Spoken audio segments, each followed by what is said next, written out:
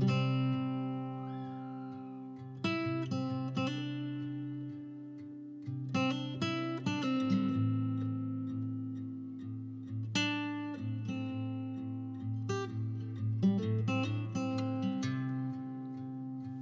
Я приветствую вас на канале Фэнтези.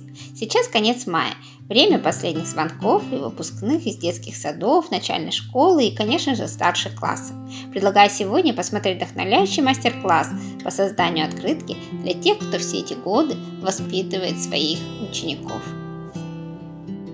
Нам понадобится основа открытки, скраб-бумага, конечно же цветы, май это время цветения, вот такие я сделала при помощи ножа распущенная роза, а также чипборд, колокольчик я покрыла э, золотой пудрой для эмбоссинга. Чипборд рамка школы 1338 я покрыла двумя видами пудры. Сначала белой, а потом придала небольшие акценты золотом. Точно так же я поступила с вырубкой завязочка. Притом я отзеркалила вырубку, покрыла ее с разных сторон, так у меня завязки будут смотреть в разные стороны. Надпись «Поздравляем» самая подходящая в данном случае. Открытка становится актуальной сразу и для подарка на 1 сентября. Я сделала ее в двух вариантах, белый и золотой. В процессе посмотрим, какая подойдет лучше.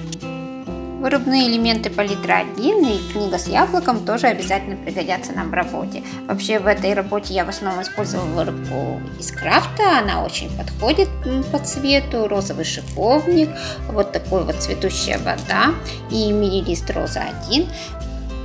Предварительно я на листе бумаги отштамповала письменный текст, тоже очень подходит для школьной темы, а потом из него вырубила листочки, что очень их усложняет, украшает и делает нашу работу интереснее.